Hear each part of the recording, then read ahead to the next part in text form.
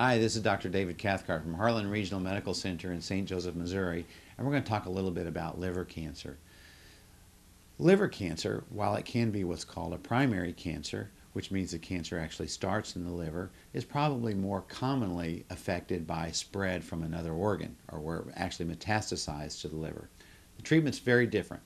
Uh, if it's a metastatic uh, cancer to the liver, that will be treated one way. If it's a, a primary cancer uh, in the liver, that's treated quite another way. Most of these cancers are treated by chemotherapy. Chemotherapy agents typically uh, treat cancers by disrupting the replicating process of cancers. So, as these cancers are rapidly uh, dividing, the chemotherapy agents or the chemicals that are toxic to rapidly uh, killing or rapidly dividing cells will uh, disrupt those cells' ability to divide and they'll die. Now, unfortunately, chemotherapy also does that to normal healthy cells, so that's frequently why people will lose will lose their hair uh, during uh, uh, cancer chemotherapy.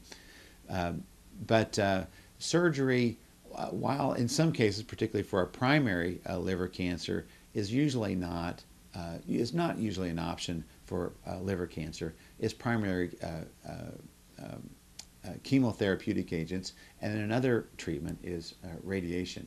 Uh, radiation also will kill uh, cells uh, in a different mechanism than chemotherapy, but nonetheless, they're dead cells.